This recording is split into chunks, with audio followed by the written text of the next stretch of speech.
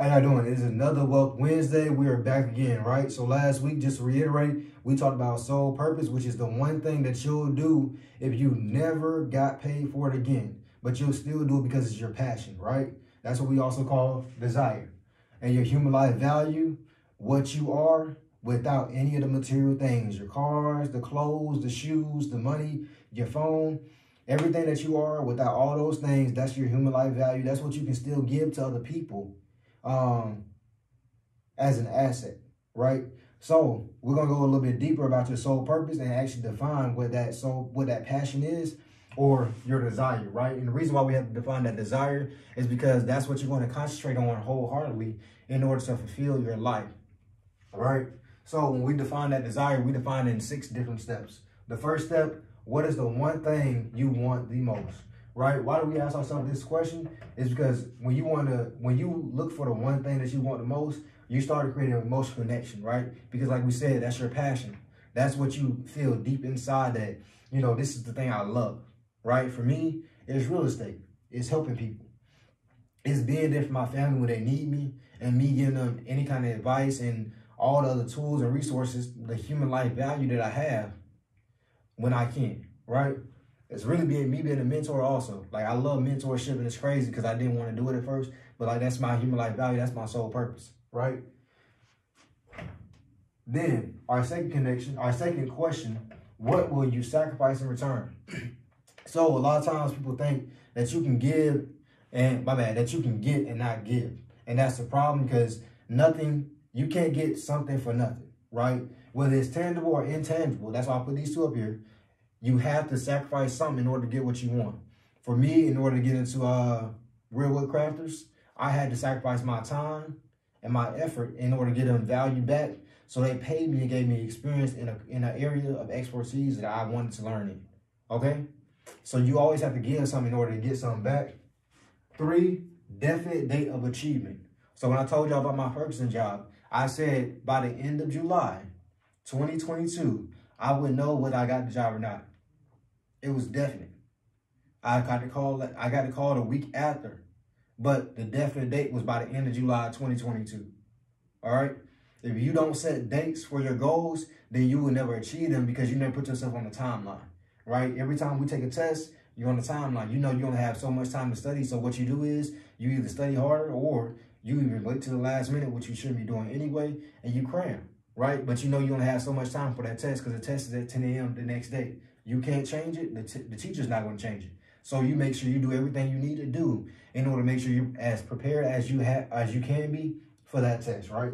So you need that definite day of achievement so you can create a timeline for yourself, all right, in order for you to achieve your definite desire, right? It's help you concentrate on that definite desire and know that you only have so much time to focus on it. Next, a definite date, a definite plan to achieve the goal, right?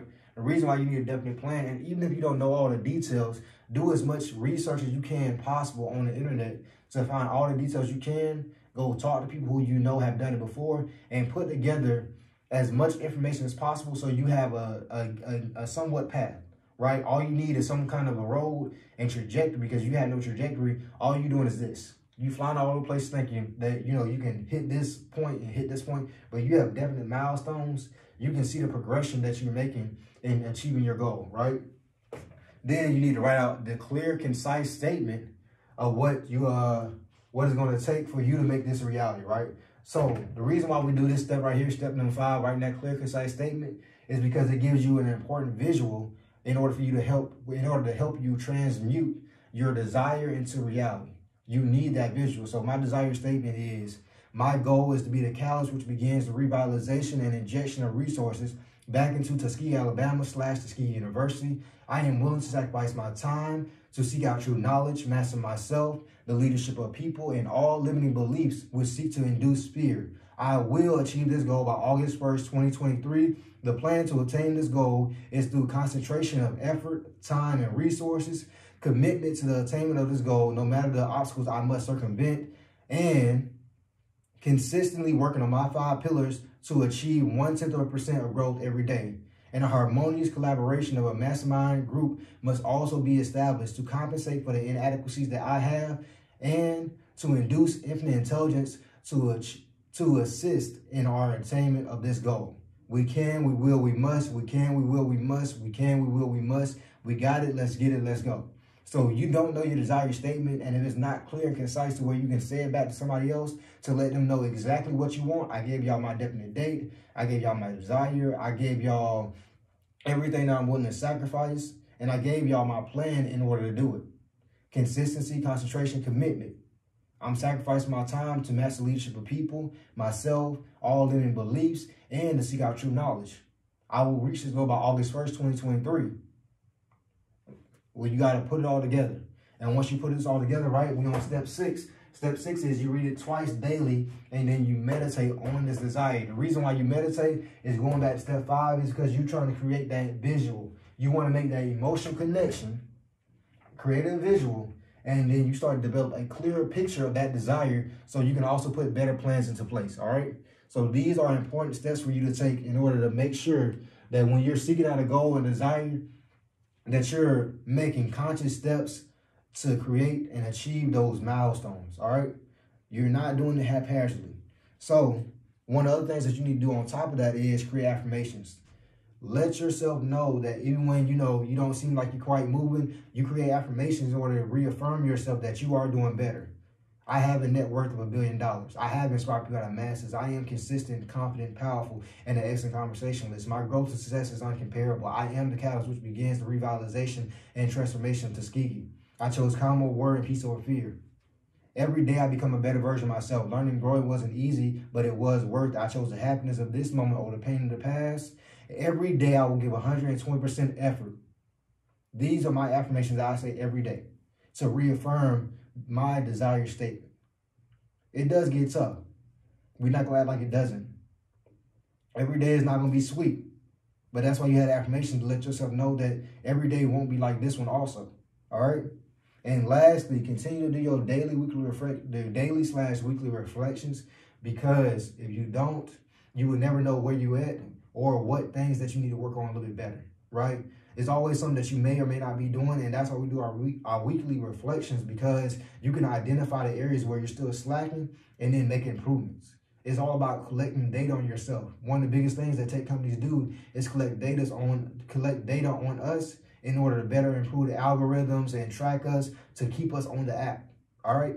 So the same way that the uh, tech companies, Instagram, TikTok, Facebook, Twitter, they keep data on you and they track what you're doing in order to monitor when you're on the app, when you're not on the app, and then when to how to keep you on the app so we can collect more revenue.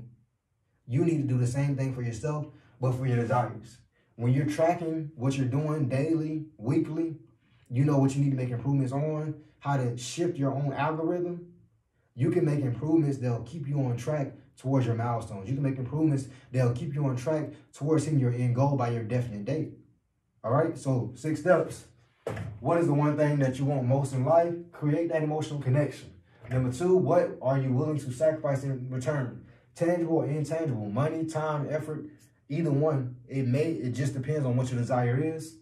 Definite date. To achieve this goal, you have to create the timeline. If you don't, you will it will never happen. All right definite plan to achieve goal. Order your steps as best as you can in the beginning, and then as you go along, you'll be able to you'll be able to order them better. Five, that clear and concise statement. You need to have that clear and concise statement because it'll keep you, it'll allow you to be able to properly communicate your desire to anybody who asks. All right. And number six, read it twice daily. Twice in the morning, at night, midday, afternoon, it don't matter. But read it twice daily and then meditate on that desire at least once a day in order to truly create that clear picture so you know how to better pursue that desire, how to better achieve those milestones, and how to create that deeper emotional connection because the more passion you feel about something, the more you're want to do it. All right? Y'all have a good day. That's class.